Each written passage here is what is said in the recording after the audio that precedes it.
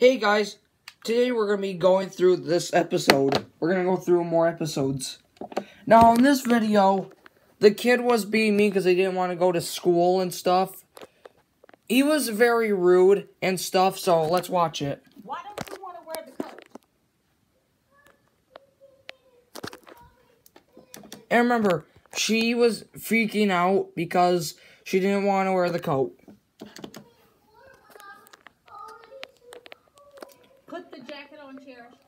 Put the put the jacket on.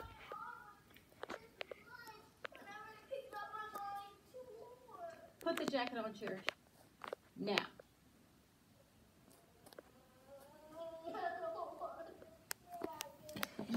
Now the next one is by is by the kid temper tantrum throws like a cake on his birthday.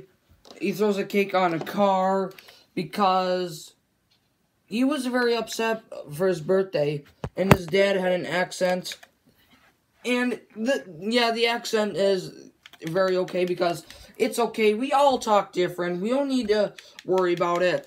But he threw a cake on his van for some reason. I don't know why he did. So, here you go. James! Stop, stop, stop. That's not good. You just, that was Uncle James. No, don't stop. That was Uncle Jay's birthday cake. All right, well, we, we can save the West. No, no, just put it back. Leanna, no, no, no, stop. No, put it back. Put it back. Leon, no. No, don't you dare. Give me, give me the cake. Give me the cake. No. Alright, guys, that's going to be it for today's episode.